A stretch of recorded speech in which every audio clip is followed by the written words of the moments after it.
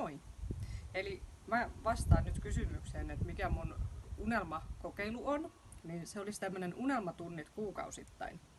Löydetään hoitajien vahvuudet ja kehitetään niistä voimavara.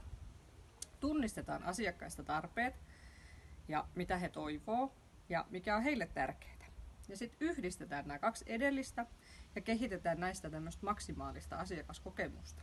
Asiakas ensin, client first. Hashtageilla nämä äskeiset.